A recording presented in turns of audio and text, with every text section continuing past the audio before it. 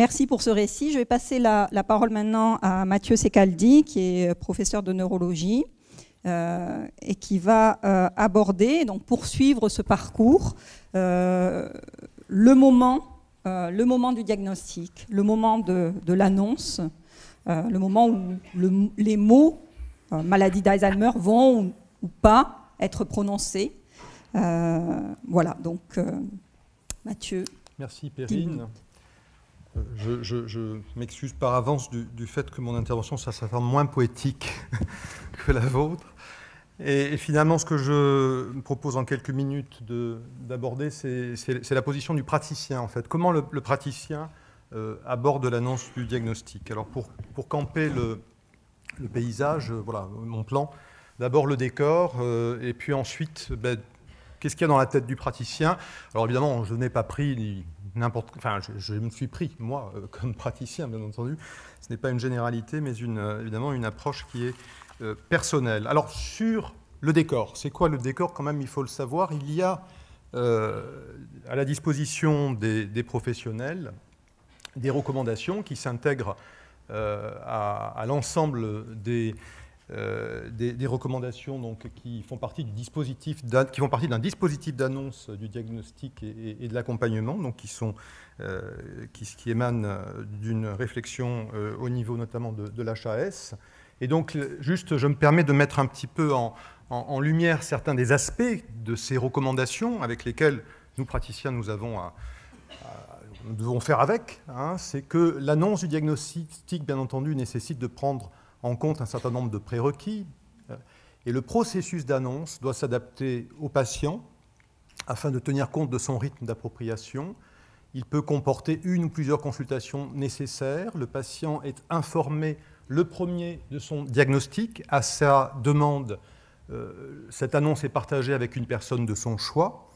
En cas d'incapacité à exprimer cette demande, le diagnostic est annoncé à la personne de confiance ou à défaut à un membre de son entourage en présence du patient. Il y a des cas particuliers, bien entendu. Et le deuxième point que j'ai vu simplement souligner euh, sur ces recommandations, c'est que le médecin généraliste, en principe, participe à ce euh, processus d'annonce et qu'il a notamment, en tout cas tel que cela est exprimé dans ses recommandations, la fonction d'expliciter, de répondre éventuellement aux questions que se pose le patient, que se pose l'entourage, et euh, il a la possibilité de le faire dans le cadre d'une consultation dédiée euh, à, cet effet. également dans les références, vous savez qu'il y a ce qu'on appelle les centres mémoire ressources et recherche euh, sur la maladie d'Alzheimer en France et que ces centres sont organisés en fédération. Eh bien, là aussi, euh, la fédération a émis un certain nombre de recommandations sur l'annonce, avec donc cette consultation d'annonce après retour des résultats complémentaires, supplémentaires donc euh, recommandés, qui vise à présenter les résultats de, ces examens, à partager, j'insiste sur ce mot, j'y reviendrai, un diagnostic de probabilité, négocier un projet thérapeutique global, euh, répondre en priorité aux questions posées par la personne malade et par son accompagnant et à anticiper les questions qui ne sont pas formulées explicitement. Et puis, dans le décor, outre les recommandations, il y a les avancées de la science et des pratiques. Alors, bien entendu, je ne vais pas vous faire un exposé là-dessus, ça serait beaucoup trop long. Mais c'est vrai que la maladie est une maladie fonctionnelle, c'est une maladie qui altère la, cognition, qui a donc des conséquences fonctionnelles. Mais les avancées de la science, c'est de s'intéresser de plus en plus à la maladie qui est dans le cerveau des patients, à la biologie de la maladie. Et donc, vous avez certainement entendu parler de tous ces biomarqueurs qui seraient des biomarqueurs des lésions euh, présentes dans les cerveaux des personnes atteintes de maladie d'Alzheimer, que ce soit des biomarqueurs par imagerie ou des biomarqueurs biologiques. Et il y a progressivement une évolution de nos connaissances et de nos pratiques qui font que jusqu'à présent, nous abordions, nous praticiens, la maladie à travers son retentissement, son retentissement fonctionnel, et du fait de l'avancée de ses connaissances, de cette science, et on ne peut pas s'en exonérer quand on est dans le cadre d'une consultation, progressivement, le curseur va vers les biomarqueurs de la maladie. D'accord? Donc tout cela, c'est le décor. Et il faut faire l'annonce. Alors, qu'est-ce que, en dépit de ces recommandations et dans ce contexte, il faut dire, c'est que le praticien pour le praticien, le temps de l'annonce du diagnostic demeure un espace qui n'est pas codifié, qui n'est pas normé, qui n'est pas balisé à la mesure des autres situations techniques qu'il a à gérer. C'est un moment dont il ne maîtrise pas le, le, déroulement, dont il ignore précisément où il le conduira. Et en tant que médecin, quelles sont mes certitudes quand j'aborde un diagnostic de maladie d'Alzheimer ou de maladie apparentée? La première certitude, c'est que je dois donner un diagnostic explicite. Je ne dois pas mentir.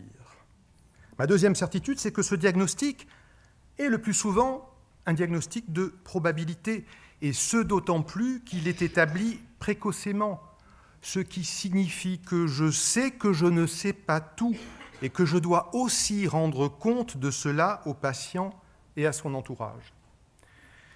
La troisième certitude, c'est que le diagnostic que je vais livrer est aujourd'hui celui d'une maladie dont on ne guérit pas et qui par nature est évolutive.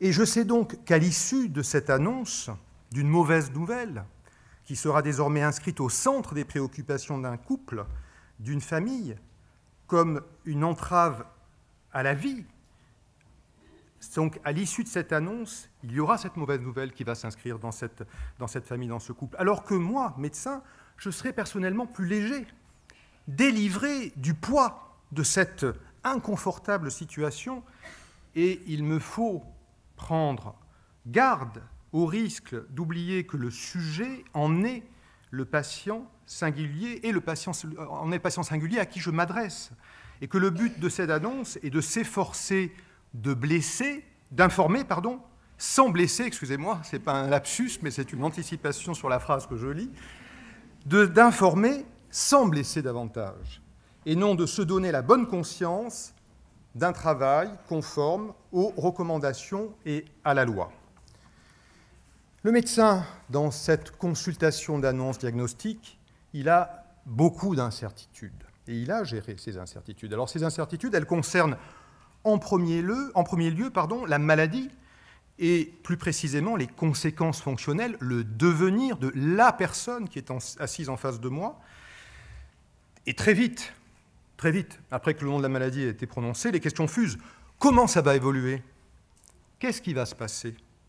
Soulignant que le sujet n'est pas tant la maladie, le diagnostic, les biomarqueurs, il est plutôt ce que l'on appelle le pronostic, l'anticipation, la prédiction du déclin fonctionnel. Et ça, c'est un domaine dans lequel le praticien, en dépit de sa science, de son expérience, doit, modestement reconnaître ses limites, les limites de son savoir, et ce d'autant plus, encore une fois, que le diagnostic est livré précocement. Les incertitudes, elles concernent aussi les, attentes, les, désirs d'ailleurs, comme l'évoquait tout à l'heure Michel Frémontier, du, patient, de sa famille, qu'il faut rechercher derrière les postures, les, phrases, les, formules, telles que je sais que c'est ça. Vous pouvez me le dire, c'est Alzheimer, n'est-ce pas? Ou au contraire, si vous me dites que c'est ça, je me supprimerai de toute façon. Et ces incertitudes, elles concernent également les représentations de la maladie que le patient et son entourage se sont forgées en intégrant notamment deux choses. L'image de la maladie telle qu'elle est véhiculée, que nous véhiculons, que nous contribuons à véhiculer, est avant tout une image fortement négative, péjorative. Est-ce une maladie du soi et de l'identité? Ça sera discuté ce soir. Mais globalement, ce que nous véhiculons et les médias nous aident à ça, c'est une image fortement péjorative et négative. Et le deuxième point dont nous devons tenir compte, c'est que la maladie peut aussi affecter chez le malade le contenu même de ses représentations, et notamment la représentation de soi. Voilà quelques réflexions simplement qui sont dans la tête du praticien quand il aborde, quand il va aborder cette euh, consultation d'annonce qui n'est jamais un moment confortable, qui est un moment, euh, encore une fois, où le sens des mots euh, est extrêmement important. Et je voudrais juste terminer par une citation. Alors, ce n'est pas parce qu'on est à Aix qu'il y a une polémique autour de ça, c'est une citation qui est prêtée à, Camus, euh, mais qu'en réalité, qui, je crois, est, la propriété de Brice Parrain, qui était un ami de Camus, un, philosophe de l'expression, et, qui euh, avait écrit, euh, dans une phrase plus longue, mal, mal nommer un objet, c'est ajouter au malheur de ce monde. Et l'idée, en fait, de Parrain était de reprendre des propos de Camus dans L'homme révolté, dans lequel Camus écrivait qu'il faut s'efforcer au langage clair pour ne pas épaissir le mensonge universel. Et je crois qu'il convient, et c'est une réflexion qui a commencé, il convient que les professionnels travaillent à un lexique qui contribue à ne pas épaissir ce que j'appellerais le mensonge singulier qui peut résider dans l'annonce de ce diagnostic. Merci de votre attention.